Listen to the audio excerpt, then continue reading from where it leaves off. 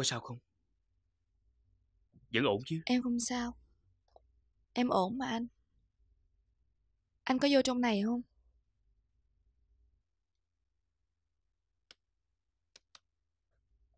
Đêm nay anh ngủ lại đây với em được không? Lâu quá rồi. Chắc cả một thế kỷ rồi đó. Anh không ngủ với em.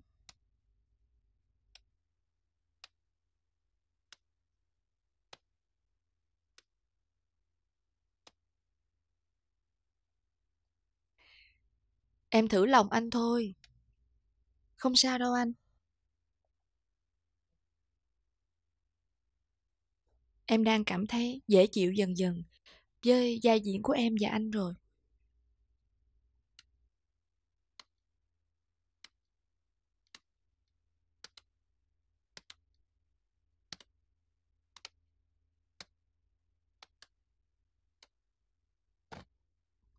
Vậy thì anh cứ diễn tiếp cái tuồng mà mẹ anh dàn dựng đi. Một tháng đã trôi qua rồi. Một năm cũng sẽ trôi qua nhanh thôi mà. Đúng không anh?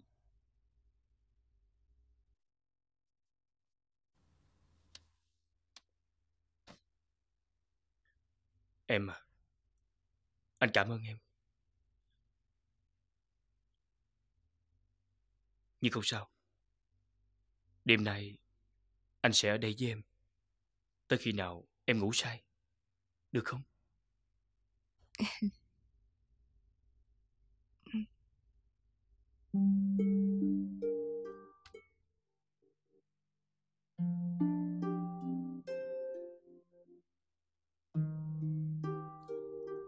Cảm ơn nha. Tôi tự lo được. Tôi đang ăn mà. Con á, phải dạy cho nó biết chấp nhận mọi chuyện. Đã thỏa thuận việc gì rồi, thì cứ vậy mà làm. Nó không phải là con nít để mà dỗ dành. Đi thì thôi, về đến nhà thì cái mặt như là bánh bao thiêu. Cái mặt như vậy làm sao mà làm ăn khá giả nổi. Mà như vậy cháu nội của tôi làm sao mà vui được.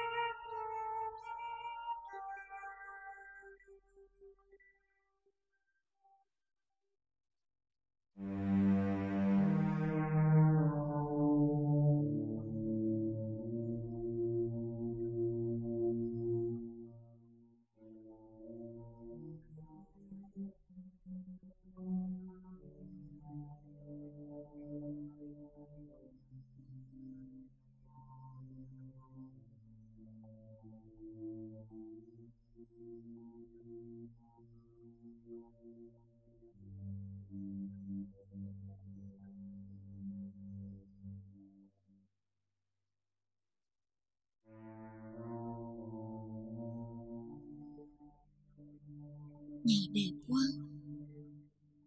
Thôi thì, đúng như má nói, Mình cũng may mắn phước phần Coi như im phận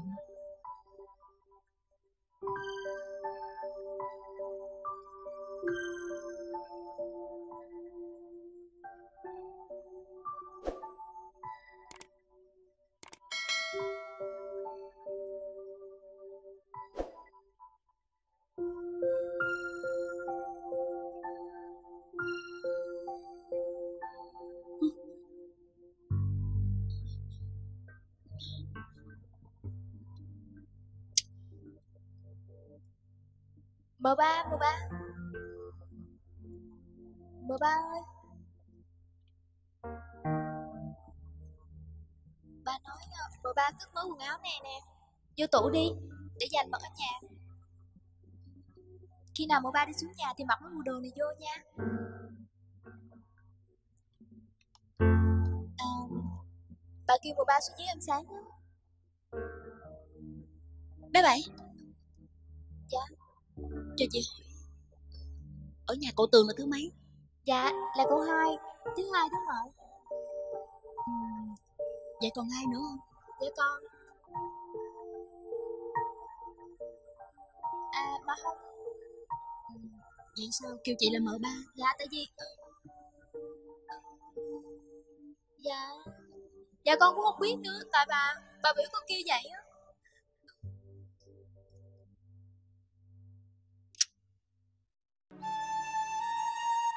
Nè con, cái phòng đó là của Mai Hồng, em gái chồng con. Nó đang đi du lịch ở nước ngoài á. Con tuyệt đối không có tò mò vô phòng đó nha. Nó khó tánh lắm, tính tình cũng không được vui vẻ. Mai mốt nó có về, con đừng có chấp nhận nó nha.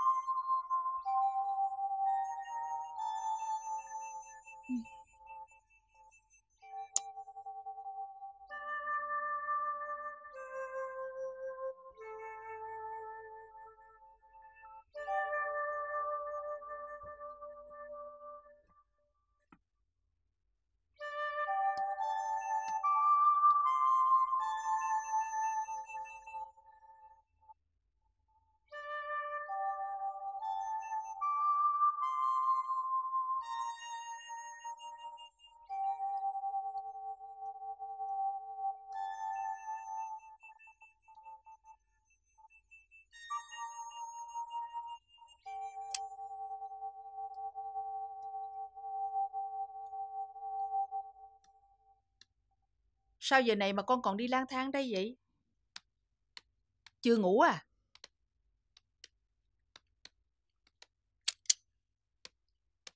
Dạ con xuống bếp lấy nước uống À, để mai á, má kêu bé ba mỗi tối đem nước lên phòng của con.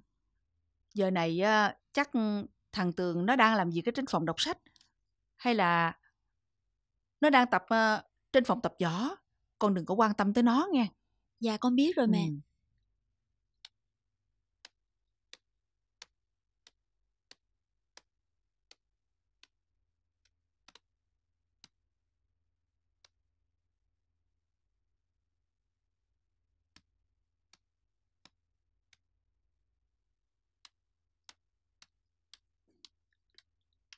Ủa mẹ chưa ngủ sao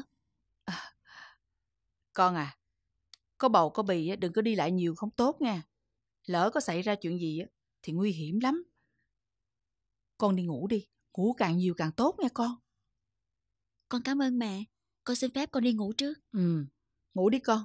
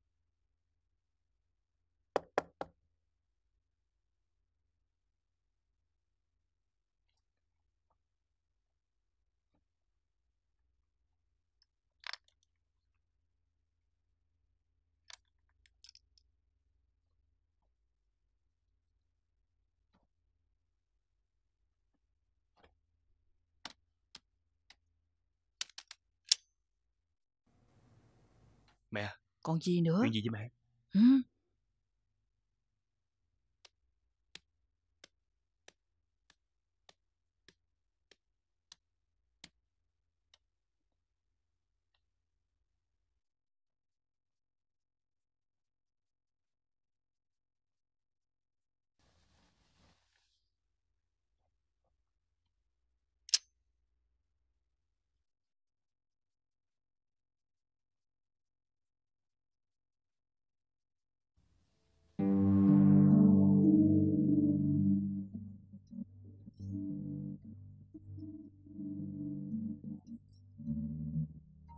Thank you.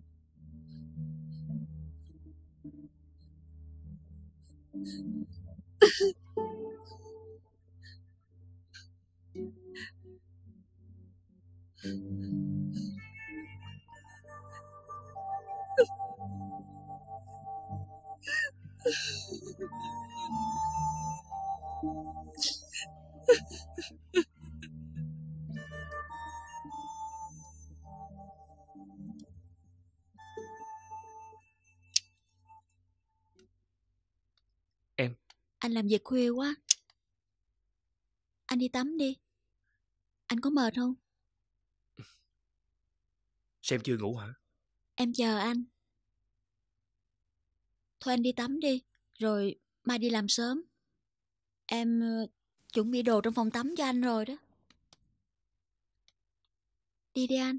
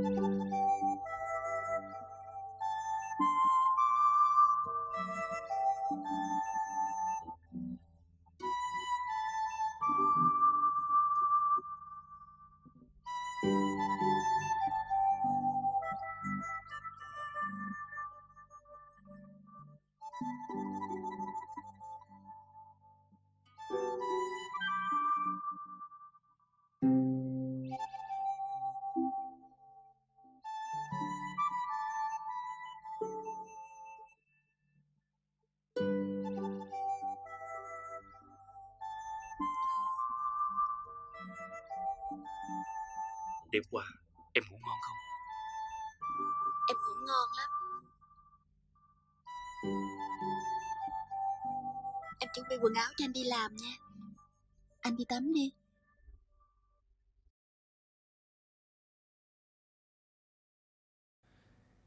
Anh muốn tắm cùng với em à?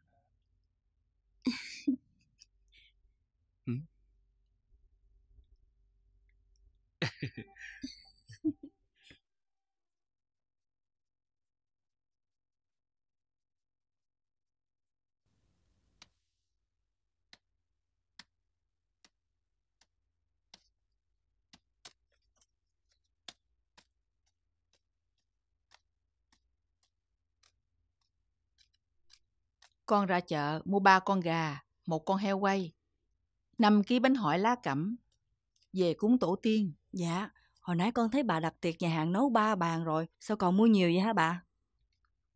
Hồi nãy đặt tiệc là để đãi khách tới nhà mình ăn. Còn cái này á, mua là để cúng. Đặng chia cho bà con hàng xóm. Phong tục của người qua là vậy. Có tin vui á, là phải chia ra cho mọi người. Dạ,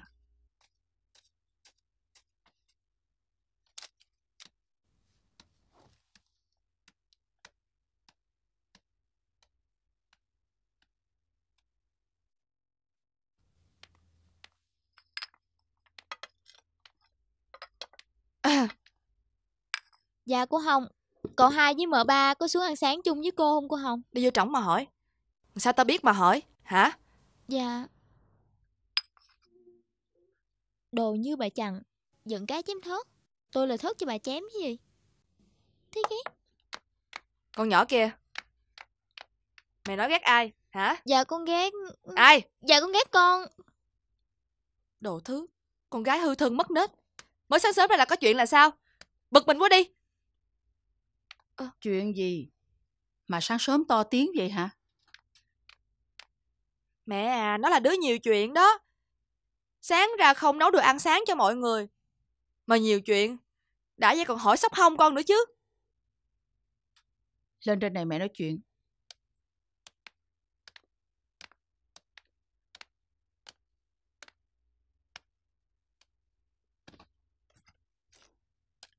Mình là người chủ trong nhà.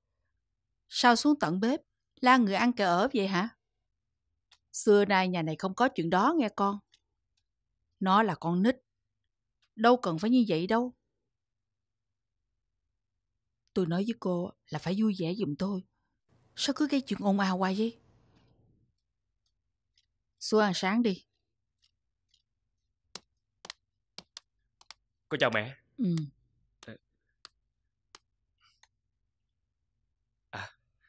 Em qua ăn sáng luôn hả? con mời mẹ. Mời cô và anh qua dùng bữa sáng. Con lo ăn sáng cho chồng con đi. Dạ, mẹ qua dùng luôn đi mẹ.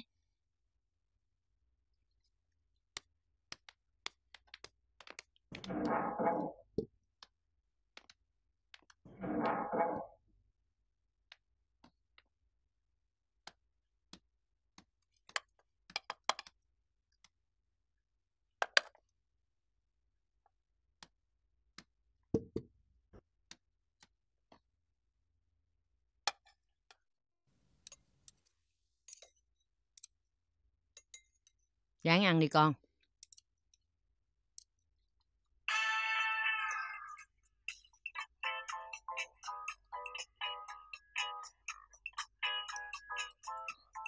Mới sáng sớm mà mẹ gọi điện thoại ám ra hả? Thôi hai cha con ăn lẹ, rồi đi sang nói giùm tôi nha không? Dạ Alo. Bàn chút xíu nữa rồi qua nghe không? Ừ, cha con nó ăn sáng chút rồi qua. Ừ, ha. Ừ, ừ. Lát nữa mình đi đâu ba? Hôm nay mình lại qua vũ trường học nhảy con. Vậy hả? Ba công nhận á, con có năng khiếu nhảy múa lắm nha. Ngày hôm qua qua bên đó, con làm cho tôi nó lát con mắt luôn. Con thấy không? Trễ giờ rồi, hai cha con ngồi đó nhâm nhi hoài vậy hả? Thôi đi con, trễ giờ rồi.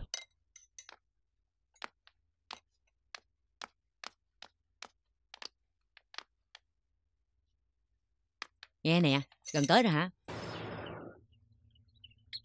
Tôi tới rồi đó ừ đợi tôi tôi đang vô nè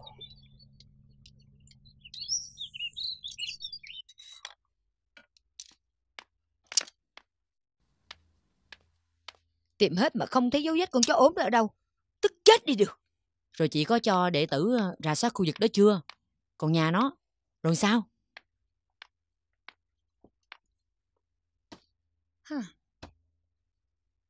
Giờ xử má là sao đây? Nhà nó nghèo rớt mùng tơi. Đâu có gì để xiết nợ. Nó có chị em gái gì để thế mạng không? Có. Có con chị. Xấu như ma lem luôn. Có chồng. Mà mới sinh con nữa. Thì thôi bỏ đi. Làm ăn có khi lời khi lỗ mà. Bà. Tôi muốn bà sang công bến lại cho tôi. Để tôi bắt nó cài. Trả nợ cho con bạn nó. Bà nói nghe hay quá à. Bà biết từ đó giờ tôi đầu tư cho nó bao nhiêu rồi không? Cả mấy chục triệu rồi đó bà. Cùng dân làm ăn với nhau. Bà đã thách tôi chi vậy? Vừa phải thôi bà. Trời ơi. Tôi tôi hỏi bà nè. Tôi mua sắm cho nó cả chục bộ đồ hiệu lận. Rồi làm tóc, làm Hmm. tai. Vậy là hết biết bao nhiêu tiền rồi. Tôi đã tốt cho nó chuẩn mọi điều kiện. Bây giờ tới lúc đi show kiếm tiền lấy vốn lại. Bà biểu tôi đưa lại cho bà. Vậy là sao? Đâu có được bà.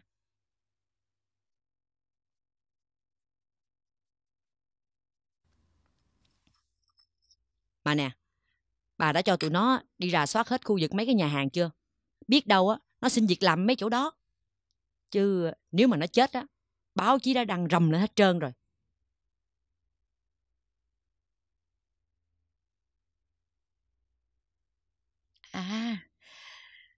Có con bạn. Tên là Duyên. Ba hả? nó làm nhà hàng. Ở khu quận 10 đó. Ờ, có khi nào nó tá túc đó không ta? Thì đó. Được rồi, thôi cho đi nha. Ừ, đi đi.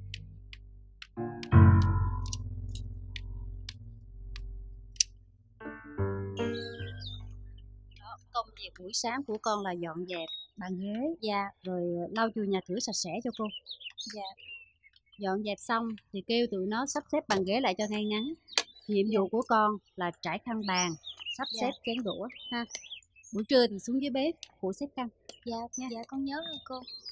Dạ cảm ơn cô. rồi bên đó có chỗ ngủ không con Dạ, kiếm tư tốt lắm cô. Còn con chạy chiếu ngủ dưới phòng khách. rồi ông sáu ngủ ở đâu có chỗ ngủ không Dạ có cô. Chú Sáu có phòng ngủ riêng cô. Rồi ờ, vợ ông sáu dưới quê á già hay trẻ người ngợm ra làm sao Dạ, thím Sáu lớn tuổi hơn cô không nhiều. Nhưng mà nó thấy già hơn cô dữ lắm. Tại ở dưới quê thím cũng cực lắm. Chú Sáu đâu có làm gì ra tiền để cho chị em Duyên đi học đâu cô. thôi đi làm đi Dạ,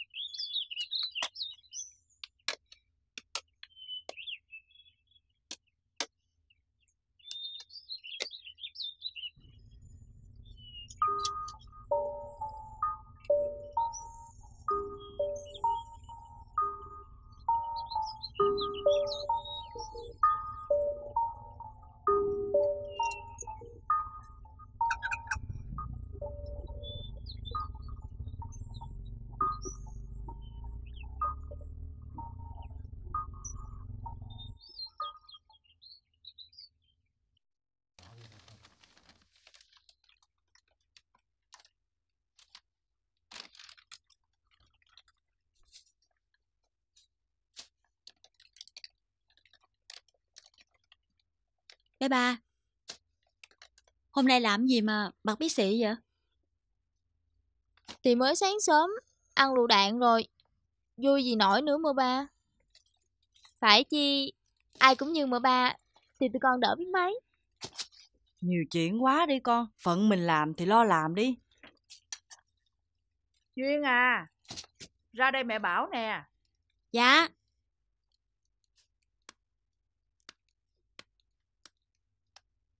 ba mươi ba mươi Con ước chi á, cậu hai bỏ quách cái cô Hồng đó đi. Con không thích cổ chút nào á. Không được nói vậy, làm lẹ lẹ đi, trưa trời trưa trật rồi.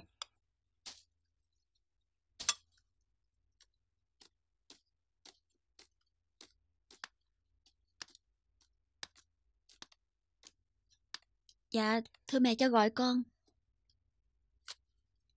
Ngồi xuống đi con.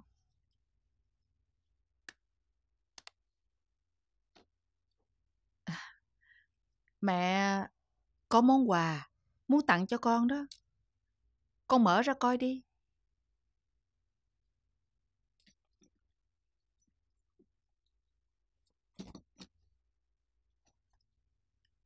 Mẹ thấy cây đàn của con á, nó cũ quá rồi.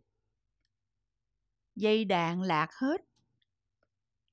Cây đàn này á, mẹ đặt mua của một ông thợ làm đàn lâu năm ở trong chợ lớn á. Con lấy ra thử coi, có tốt không?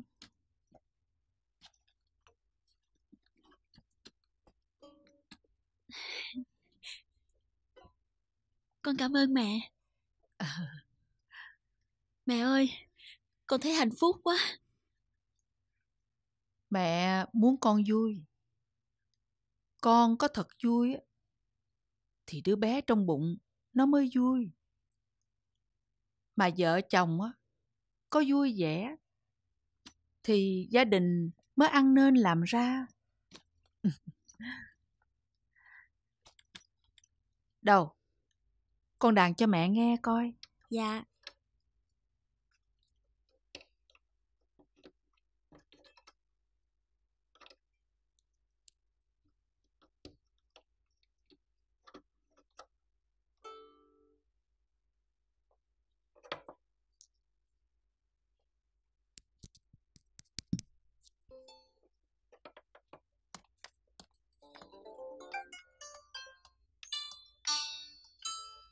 Con chào mẹ. Ờ, anh mới về.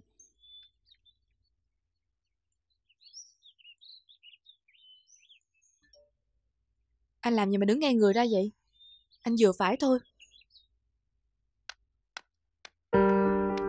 Mai Hồng. Dạ, cô xin lỗi mẹ, không có gì đâu mẹ.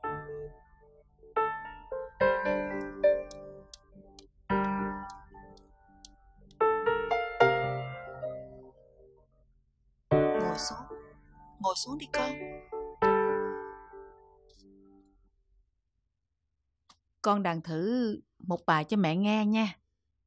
À, tối nay mẹ có mời một số bạn bè thân quen tới chơi. Mẹ muốn con đàn cho mọi người nghe nha. Dạ. Đâu, con đàn thử một bài đi.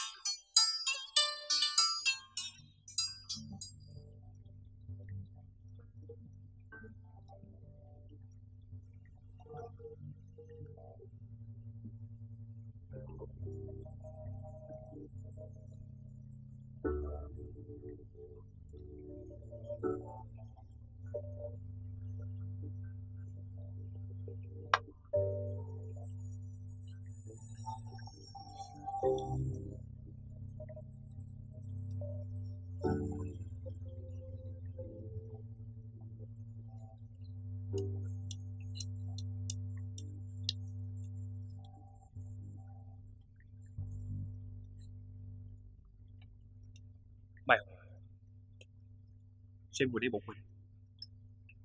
Em đã vô trong vui vẻ cho mọi người. Mai Hồng à, duyên có con, có nghĩa là tụi mình sắp có con rồi mà.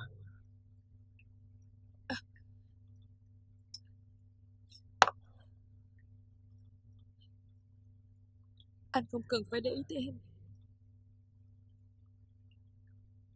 Anh cứ vô với mọi người đi. Em xin lỗi.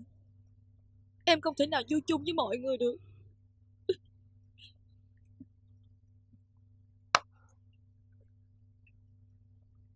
Mai Hồng à,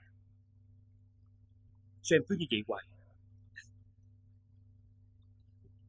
Em phải nhớ là Duy sinh con thì tụi mình phải có sự quan tâm đặc biệt tới Duy chứ. Em à, em hơn Duyên về tuổi tác, hơn cả về trình độ nữa. Anh nghĩ em nên xử sự thế nào cho Duyên kính nể mình chứ. Em không cần ai phải nể trọng em hết. Anh hiểu chưa?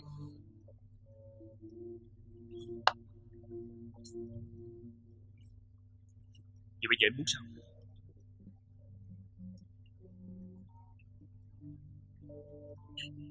Em muốn trở lại những ngày trước kia. Lúc chưa có nó xuất hiện Mai Hồng Anh này Em phải nên chấp nhận sự thật. Em không còn khả năng sinh con nữa. Mẹ anh thì muốn có một đứa cháu Và là con của anh. Và chúng ta đã thỏa thuận từ đầu rồi mà Mai Hồng Phải rồi. Mấy người là một lũ lừa đảo. Anh với mẹ anh Là đồ dối trá. Anh lừa dối tôi, Lừa dối luôn cả cô ta. Tôi không thể chịu đựng nổi cái cảnh này nữa. Chim cha cái kim chồng chung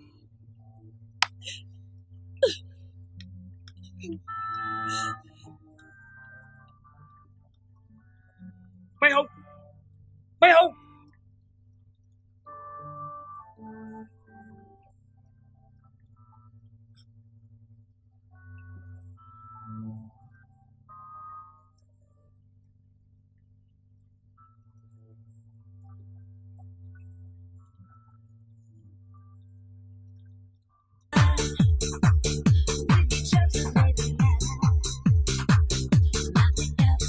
Ngủ đi. Vô. Em chỉ cần dùng hai ngón tay đỡ một chiếc ly như vậy. Đó. Đúng rồi Công nhận nhá Ba ba của em có cặp mắt tinh đời thôi. Em sinh ra là để làm nữ hoàng ở trong nhà, Chứ không phải để cuộc chiến trong với mình mày rồi. Con gái tôi bây giờ là Mika cứ thương bến bến hoài là sao? Còn thương bên cũ một lần nữa. Là bắt nặng đó nha. Bỏ tay ra giùm một cái. Đi ca chứ không phải là bến đâu mà muốn làm thì làm nha. Vô ba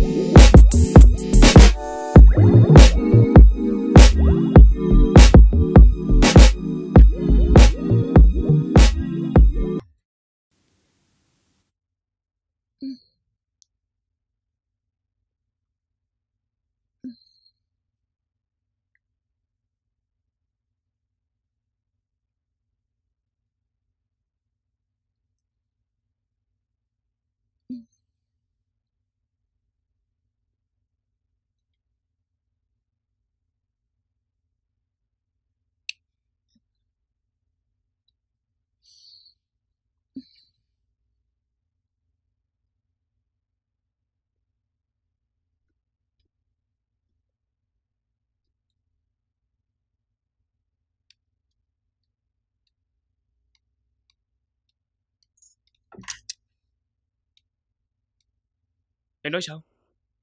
Em nói là Mai Hồng đã rời khỏi quán lúc 12 giờ đêm mà. Dạ. Sao bây giờ hơn một tiếng rồi mà vẫn chưa thấy về? Ủa? Nó về rồi. Nó đi bằng taxi mà anh. Vậy cô đi một mình hả? Ờ, dạ. Ờ, Mai Hồng đi một mình. Anh cảm ơn em.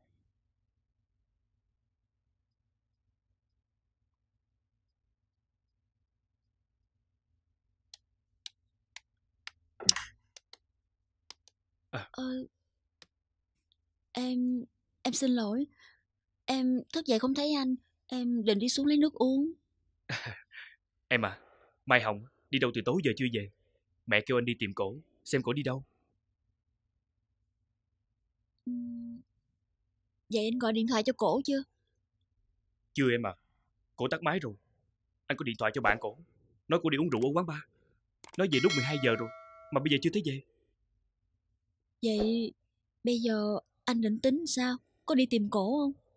À, thôi được rồi, chắc không có gì đâu. Mình vô phòng ngủ đi em. Đi.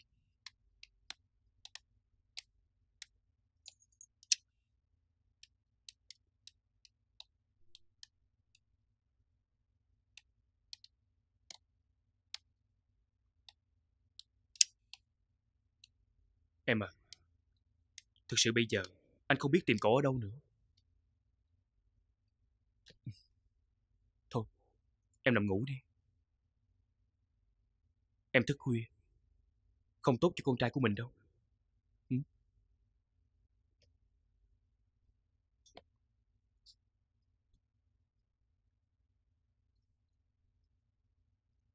Anh à, Sao vậy em? Em ngủ đi.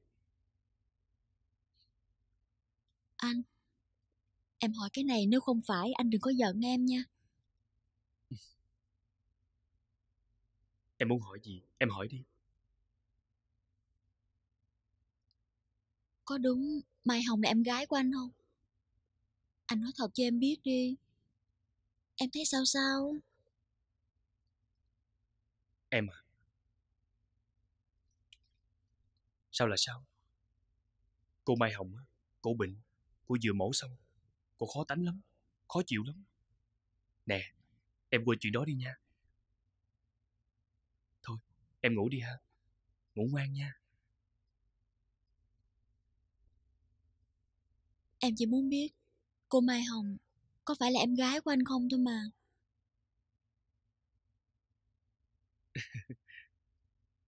Em cứ vậy hoài à. À, nghe nè.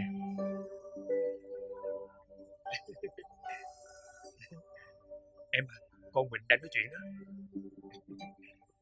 Alo, cô nói gì? nó nói to lắm em ơi. nói lớn lắm. Em nghe không?